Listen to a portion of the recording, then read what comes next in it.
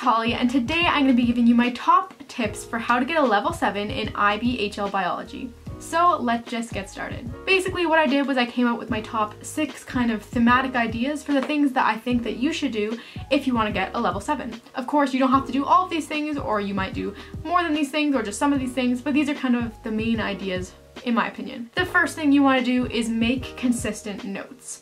So I'll show you what I used when I made notes. For the first semester of my HL biology course, since it was divided into three semesters, I used these two smaller notebooks and I just made my notes like this.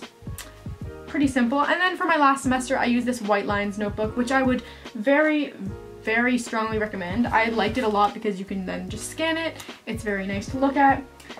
All of these notes are in PDF format in the description box, so feel free to check those out because they might be useful to you. These are kind of my full notes that I would make during um, the evenings after my classes to really summarize everything and understand it in great amount of detail. Then secondly, what you're going to want to do is learn how to ask good questions. There are people that say that there are no stupid questions, but in my opinion, you can ask kind of annoying questions or questions that you could look up yourself or just generally stupid questions.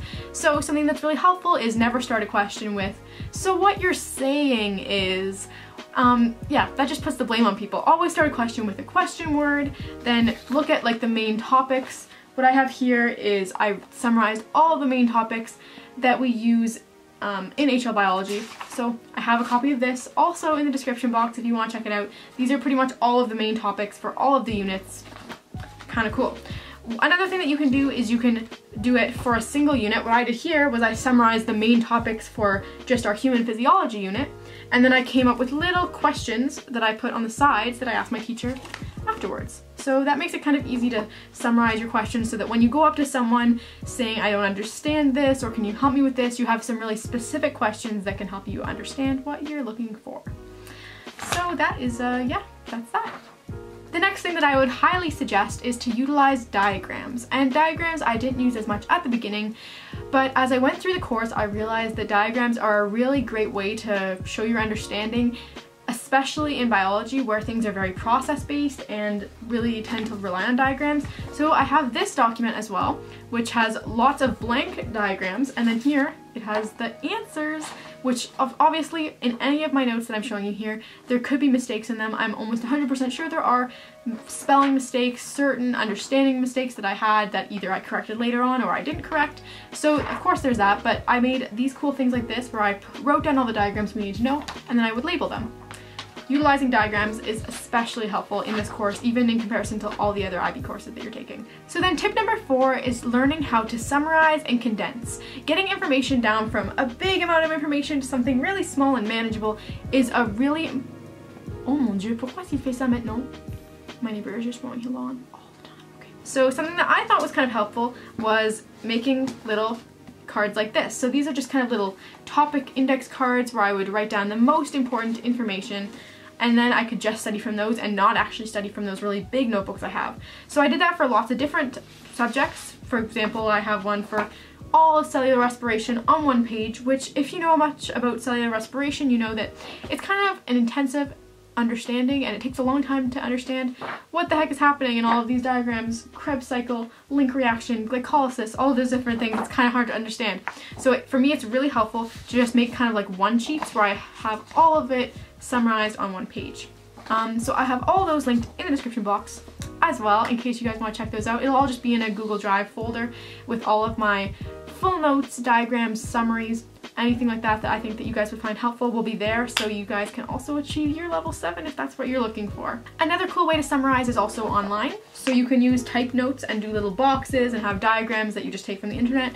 This kind of note can sometimes be more helpful depending on the type of biology, the type of diagrams you're looking at. Sometimes you don't want to just draw it over and over again or sometimes you just want to have diagrams from the internet so you can annotate it yourself later or whatnot. So that is all um, online as well. So I would suggest when you're summarizing either to do kind of like a mind map format or a small single page style, um, just try to get the information as condensed as possible.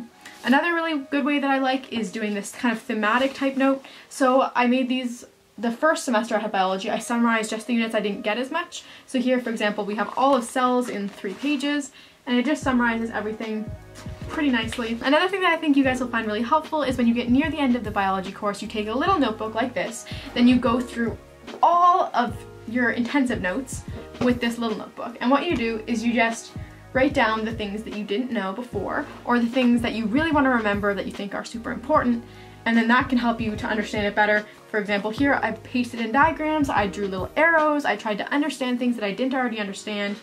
Um, yeah, so that can be pretty helpful. You can also use cue cards or sticky notes to write down the things that you mess up on tests to try to go over those things, and then doing lots of practice questions. So practice questions are very important. Do lots of practice questions and look at past papers. Of course, when you're in the course doing tests and stuff like that, just look at lots of practice questions. Don't do all the past papers then. I don't think that's the best use of your time at that point, but by the time you get to the end of the course, when you're really into the studying for exams, past papers are your best friends. So this is what I would do. Basically, I would take a past paper, and then I would look at just the long answer questions. So sometimes I would do the full past paper, but if you know what the paper two looks like for biology, they have lots of long answer questions and you can just do the long answer questions. So I would just do all of the questions like this, where I answer them and then I go through afterwards with a red pen or a colored pen and I write the things that I didn't get and then I highlight all the things that are really important. So of course I pretty much highlighted all of it, but that's basically how that goes. This is what it looks like when you have a past paper. It's just a series of questions and I would answer all of them, even though on the exam you actually just choose two of them, because if you're prepared to answer all of them, that's, that's pretty awesome. So yeah, this is kind of the format that I would take when I was answering questions when I was practicing. And then one other thing that's pretty useful is to use the syllabus. So the syllabus tells you everything that you need to know in the IB HL biology course, or if you're taking SL biology, that works as well.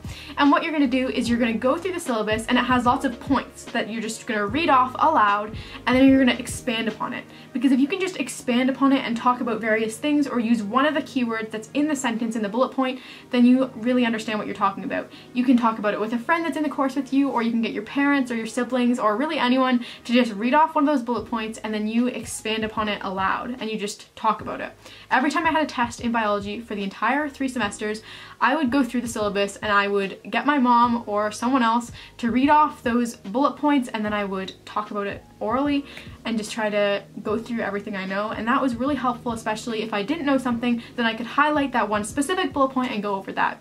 So I would also really really really highly suggest looking at the syllabus while you're studying for biology because it was very very very helpful. So that'll also be on the Google Drive link in the description box. I really hope you guys found this helpful. Um, I'm going to kind of go over all the main tips again. So what you're going to want to do to get a 7 in IBHL biology is first of all, you're going to make consistent notes. Second of all, you're going to learn how to ask good questions. Third, use diagrams. Fourth, summarize and condense all of the information that you learn. Fifth, you're going to want to use past papers and do lots of practice questions. And sixth is to use the syllabus. So thank you guys so much for watching this video. I really hope that you enjoyed it. Um, if you have any other questions about how to study for HL biology, leave them in the comments below.